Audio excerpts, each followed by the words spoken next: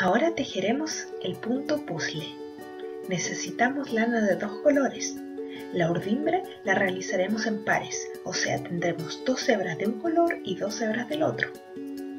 Si quieres aprender formas muy prácticas de cortar la lana para tu telar y más detalles del urdimbre, mira mi video Curso Express de Telar de Peine en mi canal Lana Vole.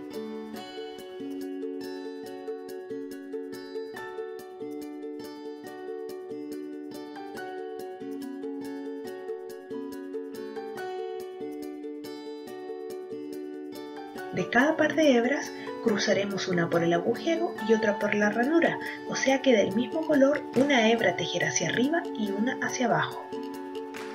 Continuamos con el siguiente color, una en el agujero, una en la ranura y así sucesivamente.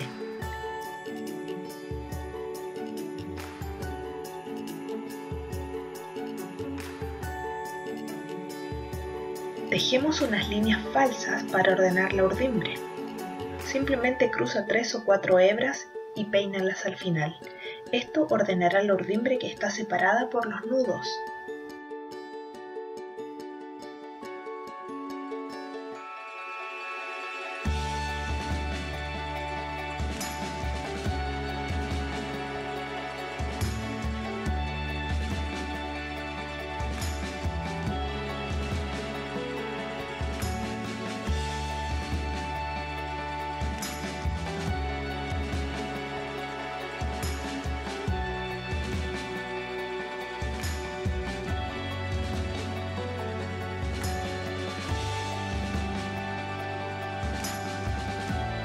Comenzamos con una cadenita que sostendrá nuestro tejido.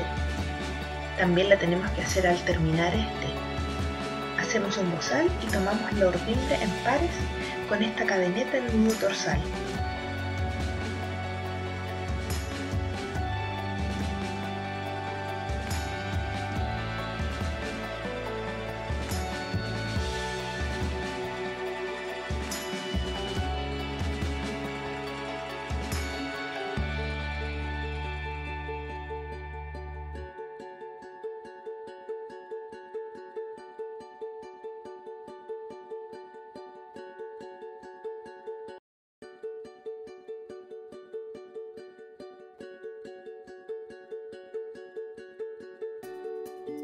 Para ajustar la cadeneta, jala de a uno los hilos, ordénalos y luego anuda.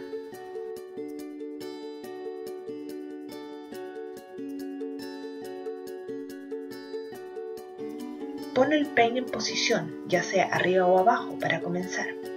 Y comenzamos con el color 1. Cruzamos la primera línea de trama, dejamos una curva para que no se encoja nuestro tejido.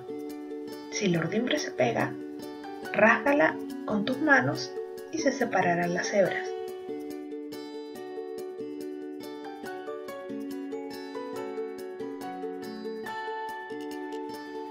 Nos devolvemos haciendo la segunda línea de trama.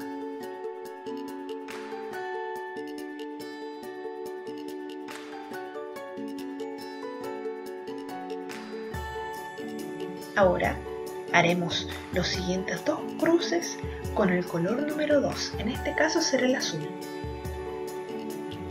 Y repetimos de dos en dos las líneas de tramas.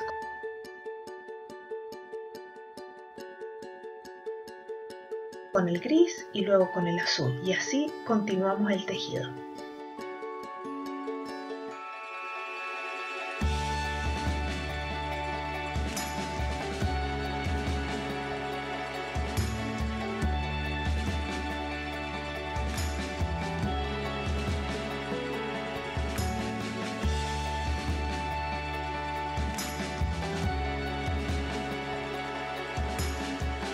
Este punto se verá hermoso como funda de almohadón, manta, chalo, quesera, un sinfín de cosas lindas. Escríbeme en los comentarios bajo este video, Facebook o Instagram en qué vas a usar este punto tú. Y si quieres aprender muchos más novedosos puntos de telar de peine, dale me gusta y comparte este video. Aprende otras técnicas de tejido en mi canal Lana Suscríbete.